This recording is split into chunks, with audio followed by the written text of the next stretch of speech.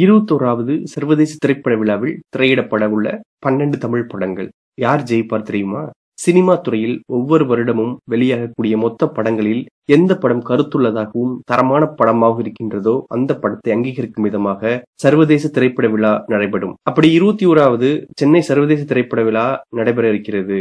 இந்த விழா வருகிற டிசம்பர் மாதம் பதினாலாம் தேதி முதல் இருபத்தி ஓராம் தேதி வரை நடைபெற உள்ளது அதாவது ஒட்டுமொத்த இந்தியாவிலும் எந்த படங்கள் பெஸ்டாக இருக்கிறதோ அதை கணிப்பின்படி தேர்வு செய்வார்கள். அப்படி இந்த முறை தேர்வான மொத்த படங்கள் நூத்தி ஐம்பத்துக்கும் மேலாக இருக்கிறது.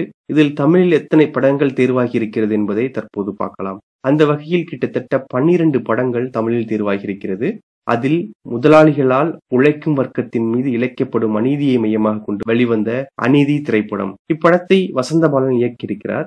அடுத்ததாக மதங்களை கடந்து மனிதாபமானத்துக்கு முக்கியத்துவம் கொடுக்கும் வகையில் அமைந்த அயோத்தி திரைப்படம். இப்படத்தை மந்திரமூர்த்தி இயக்கியிருக்கிறார். அடுத்ததாக தங்கர் பச்சான் இயக்கத்தில் வெளிவந்த கருமேகங்கள் கலைகின்றன. இதையடுத்து மாரி செல்வராஜ் இயக்கத்தில் வெளிவந்த மாமன்னன் விக்னேஷ் ராஜா இயக்கத்தில் வெளிவந்த போர்த்தொழில் படம். அடுத்து விக்ரம் சுகுமார் இயக்கத்தில் வெளிவந்த ராவண கூட்டம். அனில் இயக்கத்தில் வெளிவந்த சாயா வானம்.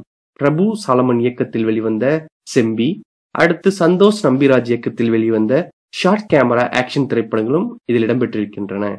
இந்த படங்களை தொடர்ந்து கார்த்திக் சீனிவாசன் இயக்கத்தில் வெளிவந்த உடன்பாள் வெற்றிமாறன் இயக்கத்தில் வெளிவந்த விடுதலையின் முதல் பாகம் மற்றும் அமுதவண்ணன் இயக்கத்தில் வெளிவந்த Vindhya victim verdict V three போன்ற படங்களும் தேர்வாகி இருக்கிறது இப்படி தமிழில் பனிரெண்டு படங்கள் தேர்வானது பெரிய விஷயமாக பார்க்கப்படுகிறது.